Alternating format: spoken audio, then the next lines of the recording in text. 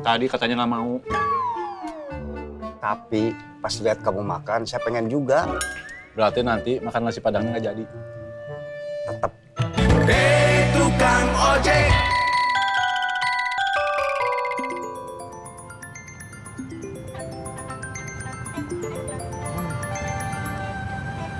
Iya, Bibu.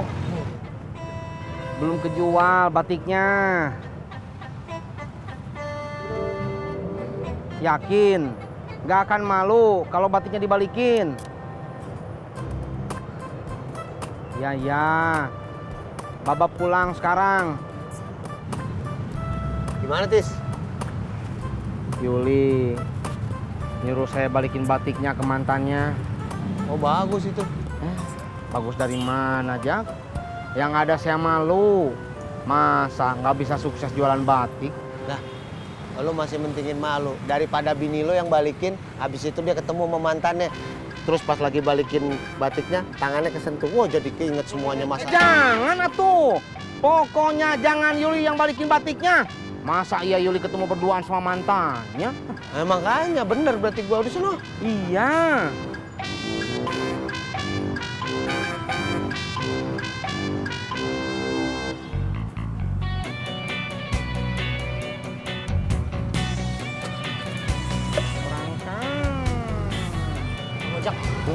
Kasihan nih Kang Tisna. Kalau kasihan lo beli batiknya tuh. Kalau gitu saya nggak jadi kasihan ya sama Kang Tisna. Nah, iya makanya. Kasihan harganya tiga ratus tiga ratus ribu. Tuh batiknya dia. Mahal. Eh makanya. Agak kencengan bawahnya, jangan terlalu ke tengah. Well, piu piu. Piye toh? Yang bener toh. Mohon maaf ya, adik saya lagi belajar naik motor soalnya. Kalau masih belajar bawa motor, jangan langsung di jalan. Kan bisa latihan di lapangan. Kemarin mah latihan di lapangan lancar-lancar aja, Bu. Ini makanya dibawa ke jalanan sekarang. Ya, tapi buktinya dia belum mampu toh bawa motor. Lah, kamu itu gimana toh kalau saya tadi langsung ketabrak piye? Kamu mau tanggung jawab? Maaf Bu ya, kita bener-bener nggak sengaja soalnya. Bu, sini. Maaf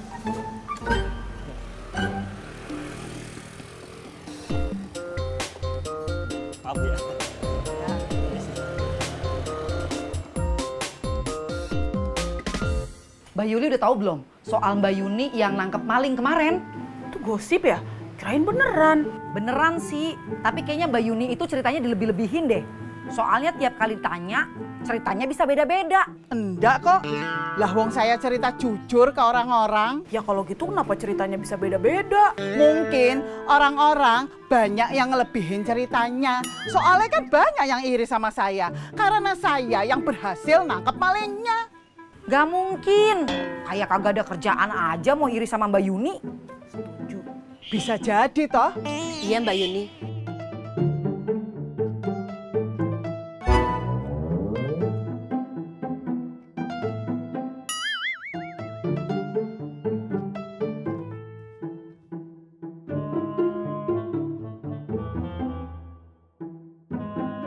Mbak, tahu ndak? Kalau Mbak Endah itu suka banget bikin gosip soal saya. Yang bener. Lah ya iya, yang terakhir dia bikin gosip. Kalau saya iki suka marah-marah sama anak saya. Padahal saya iki cuma berusaha tegas loh sama anak saya. Biar nanti anak saya itu ndak manja kalau udah gede. Kenapa Mbak Endah begitu? Ya mungkin karena anaknya itu suka sama anak saya. Tapi saya kan nggak ngebolehin bagas pacaran. Ya jadi Mbak Endah jadi kesel sama saya. Yang bener. Mbak Yuninya aja yang kegeeran kali. Saya juga nggak tahu, makanya saya nanya sama Po Edah. Ah, tahu amat ah, Mbak. Gak usah diurusin Mbak Yuni mah Mbak. Mendingan nih ya, kita fokus sama keluarga masing-masing. Iya juga sih ya. Tadi perasaannya ngomongin Mbak Yuni duluan Po Eda deh. Saya kan ikut-ikutan aja. Iya juga ya Mbak. Sampai. Kang Tis, nah pulang. Eh, Po. Ya udah, kalau gitu saya permisi pamit pulang dulu ya Mbak, Kang. Saya kan baru nyampe. Kenapa langsung pulang? Gak suka kalau saya ada di sini. Bukan begitu. Saya kan mainnya udah dari tadi. Kang Tis nanya aja yang lama datangnya. Oh gitu. Hmm. Ya udah, sana pulang. Lah, kok jadi ngusir? Enggak ngusir. Tadi katanya mau pulang, saya mempersilahkan. Ya iya sih, tapi kan kagak usah pakai disuruh ya mbak ya. Assalamualaikum. Waalaikumsalam. Yuk.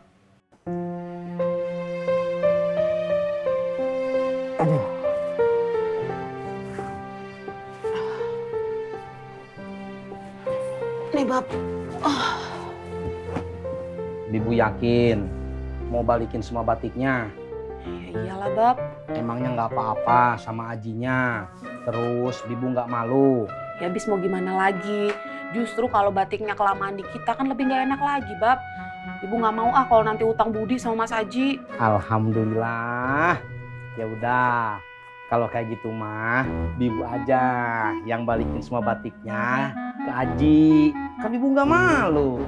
Bener nih Bibu yang balikin batiknya. Bibu pergi ketemu berduaan gitu sama Mas Aji.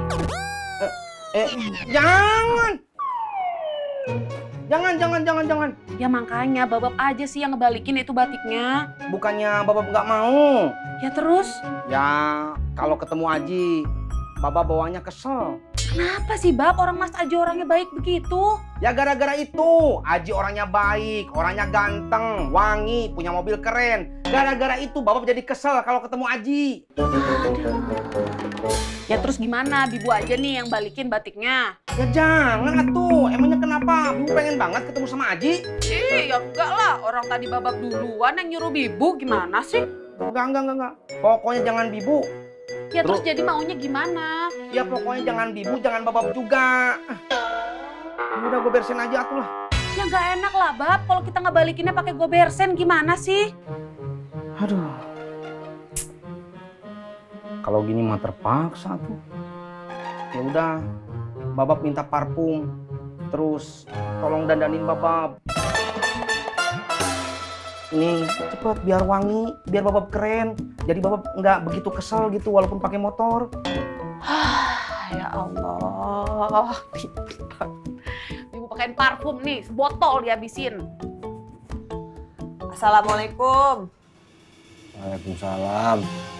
Bun, kopinya mana? Gak ada. Di warung habis. Bukan habis, Bunda emang nggak jadi ke warungnya. Kenapa? Bunda males ketemu Mbak Yuni terus. Di warung buah ketemu Mbak Yuni, di warung Mbak Dila ketemu Mbak Yuni. Udah gitu Mbak Yuni nyombongin terus lagi soal dia yang berhasil nangkep maling. Ya Udahlah biarin aja, Bun. Iya, Ya udah. Ayo ke kampus dulu ya. terus kopinya nggak jadi. Ya gimana kopinya nggak ada? Maaf ya ya, Gak apa-apa. Nanti ayah ngopi di kantin kampus aja. ini semua gara-gara Mbak Yuni. Semoga aja abis ini Mbak Yuni yang dimaling orang. Ini mbak, jadinya berapa? 15 ribu. Oh iya oke, tunggu sebentar ya. Loh kok?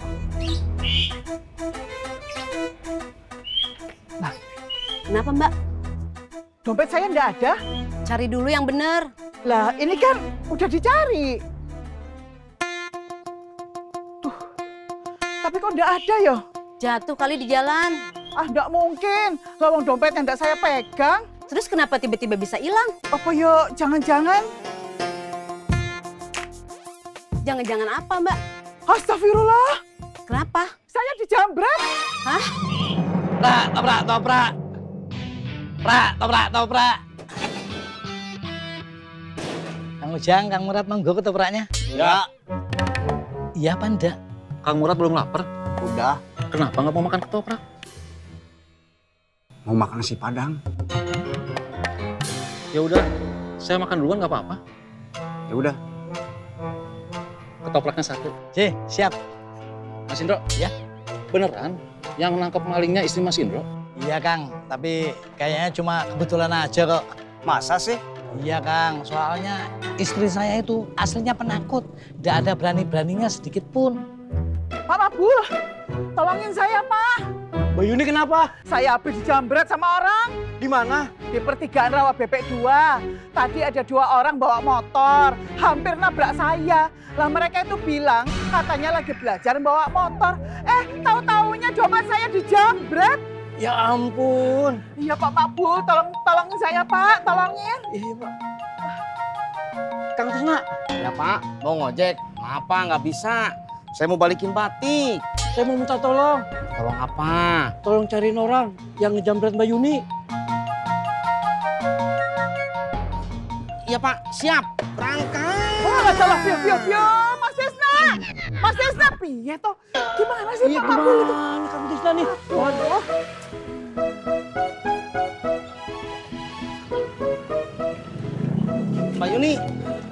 Orang yang ngejamretnya kayak gimana saya nggak tahu. Di pertigaan rawa bebek dua tadi. Iya orangnya kayak gimana saya nggak tahu. Yuni ikut Kang Kisna buat nyari orangnya. Bilang atuh.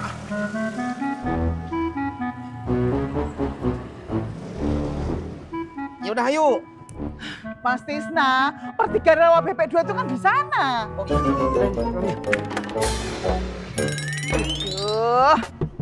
Ayo.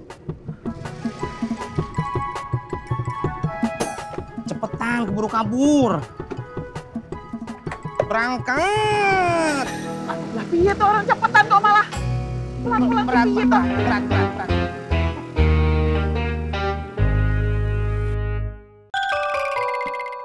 Assalamualaikum. Waalaikumsalam. Yang tadi tolong panggilin Mbak BRT dong. Mau ngapain? Saya mau lapor sesuatu. Lapor apa Pak Makbul? Ntar aja, saya bilangnya pas Babe keluar. Saya capek ngomong dua kali. Punten-punten atuh ini mah Pak Makbul. Sekarang aja tuh saya kepo. Aduh, saya nggak ada waktu. Buruan deh panggilin Mbak BRT. Ya tuh, tunggu sebentar.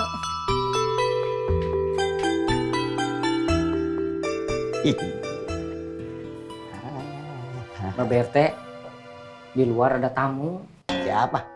Pak Makbul. Mau ngapain kemari?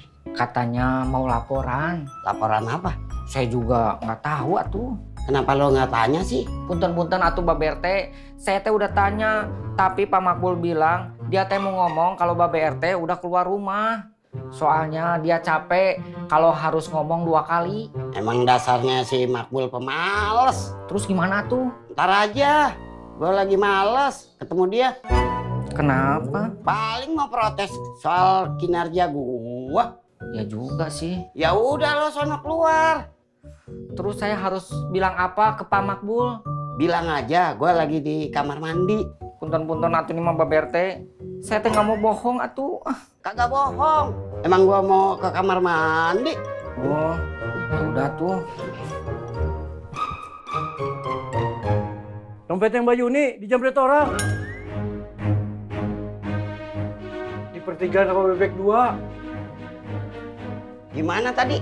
Udah Kang Teddy aja yang bilang. Emang kenapa? Saya capek ngomong dua kali. Ya elah. Habisnya Babe kelamaan di kamar mandi. Kagak.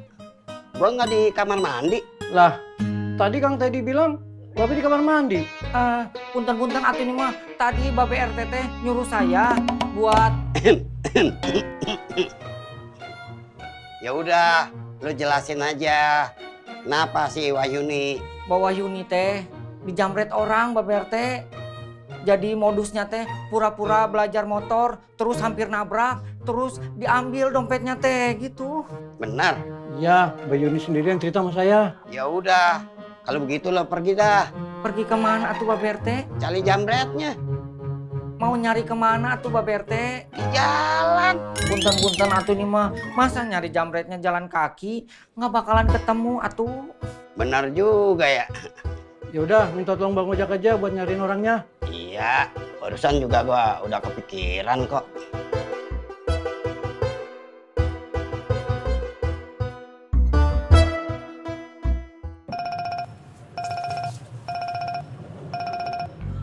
Ya Be, halo Jak.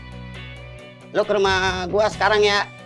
Jemput si Teddy. Si Teddy mau ke mana, Beh? Nggak ke mana-mana. Eh, terus mau pergi ke mana? Bantuin Wahyuni nyari jambret. Maksudnya? Jadi dompetnya si Wahyuni dijamret di rawa bebek 2. Lu sekarang sama si Teddy bantuin cari jambretnya. Astagfirullahaladzim. Ya udah, Beh. Ojek ke sana sekarang. Ya, gua tunggu. Yuk. Lo tolongin gue dah. Nganterin Sapira? Bukan, Du. Nyari jamret. Ya, ah, kenapa nggak Bang Ojak aja sih? Kan Bang ojek yang ditelepon sama Babe RT. Ya kan gue mau nganter Sapira. Saya aja dah yang nganterin Sapira. Jangan, itu tugas gue. Sono, kasihan si Yuni. Iya, iya.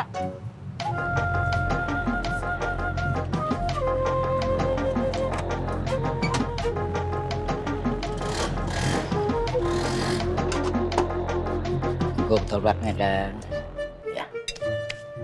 Tadi katanya nggak mau. Tapi pas lihat kamu makan, saya pengen juga. Berarti nanti makan nasi padangnya nggak jadi. Tetap. Ini mah cuma cemilan.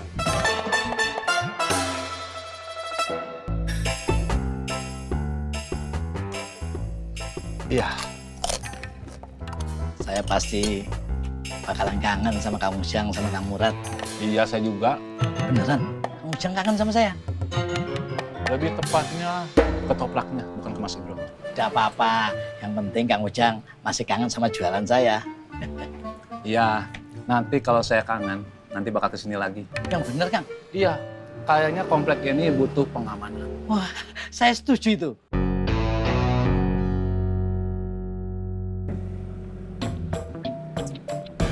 Krisna berhenti, berhenti, berhenti. Tadi saya di jambretnya tuh ya di sini. Bang Otim. Ya, mau ngopi nggak? Ntar dulu, saya mau nanya dulu. Nanya apa? Bang Otim melihat orang yang mencurigakan nggak di sini? Ada dua orang, mereka naik motor. Yang satu kayaknya masih SMA, yang satunya lagi kayaknya udah kuliah. Nggak ada, dari tadi sepi. Mas Otim yakin?